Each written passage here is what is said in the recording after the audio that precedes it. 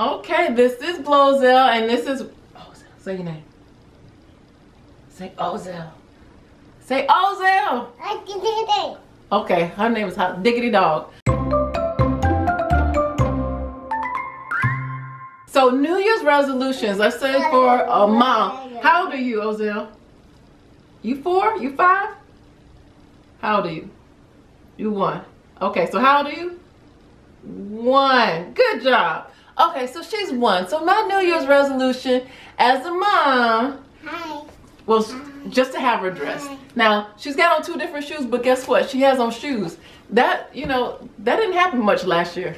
It was just a matter of like, she's breathing, she's alive, that's great. Ozell wants to be a photographer, so whenever the camera is up, this, okay. Ooh, 111, make a wish.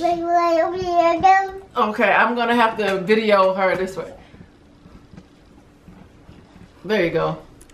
So that's Ozell. This is the um other shot. She is strong. She always tries to move things. And she's a little fashion. Hey, her shoes actually kind of match. Okay, back to the New Year's resolutions for new moms.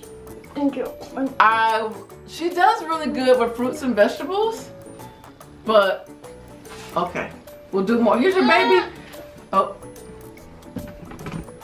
Here's your baby. She'll take her baby. All right. And maybe a New Year's resolution, I won't go so crazy with her clothes. She has a walk-in closet. Okay, who am I fooling? Of course I am. All right, so I won't. Even... I'm being upstage. All right, what else New Year's resolution? Hmm. Whoa, we're gonna go more places. Like we should have gone to the zoo by now, but she did go to a play. And oh, here we go. How about this? Ah, there's a treasure down here. We gotta keep her occupied. There's all her toys and games. And what else? I'm open for suggestions. So you all, if you are moms or you know someone who's a mom or know someone who's a good aunt or everything. No, you can't. See. Okay. okay. Um, what suggestions do you suggest for me? One, definitely be more organized, which I've said that since the fourth grade. That hasn't happened. But uh, I don't know. She's dressed. She's got on two different shoes, but she looks all right. Bye. It'd be great. A New Year's resolution uh, would be great to have a sibling for her. That That's actually number one. Um, so we'll see how that goes. So that I'm, I'm thinking within this next year, 2018. Ozell. Ozell.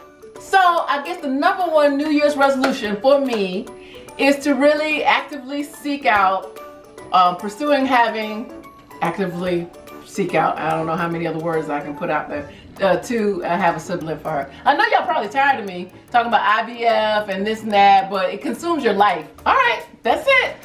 That's the number one. So tell me your New Year's resolutions and, uh, and any suggestions you have for me that are nice. I know the number one thing they're like, you can change that lipstick and you can change that dry weave. Okay, outside of those two. Okay, bye-bye.